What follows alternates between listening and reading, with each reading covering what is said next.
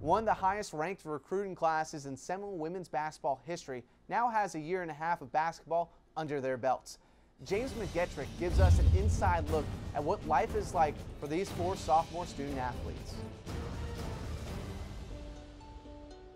Many say that championship teams are made during practice. While this may be true, the Lady Noles have been building chemistry off the court as well, which may be their reason for their bursts onto the NCAA charts. Fans have also taken notice and are all in since the team's Emerge campaign, which showcases not only the growth of the team this season, but the promising future of the team anchored by three of its sophomores. You look at the sophomore class and you talk about emerging and you, you took, talk about the way that um, Brittany and Ivey were able to immediately emerge onto the scene last year. Uh, but just how much more they've given us this year. And, and Kai James, who just started playing basketball in high school, and what she's developed and being able to come in, in a year and a half, uh, it's really fun to watch. Leading ACC freshman in steals last year, Brittany Brown has grasped the concept of emerge and sees a change from last year's team to a promising lineup.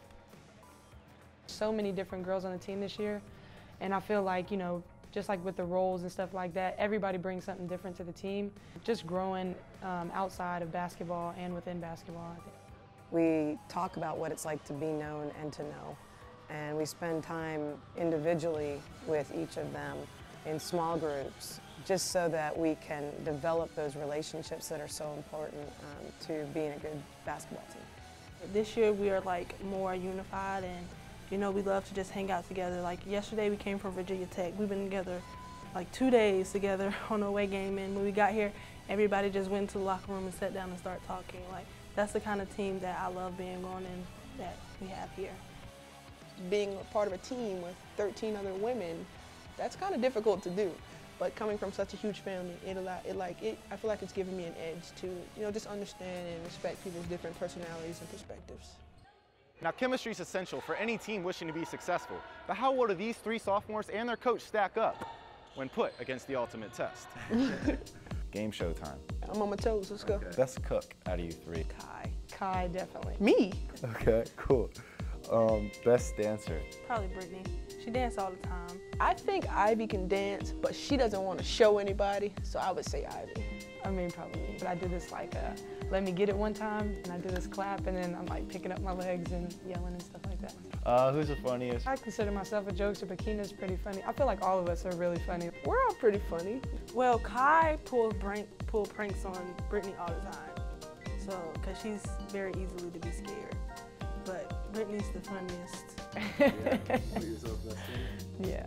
Brittany's definitely the goofball of the group. I mean, she will say anything to anyone at any time, and um, and we love that about her. I, but I think you know deep down, the funniest one is Kai because she's got this really deep sense about her, and so when she says something funny, it's just dry off the cuff. It's hilarious.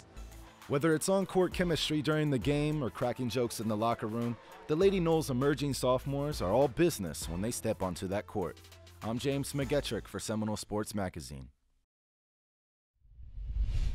Don't miss these sophomores. Coach Sue and the rest of the Noles in action all season. Help us black out the Tucker Center by wearing black this Monday at 7 p.m. when the Noles play Syracuse.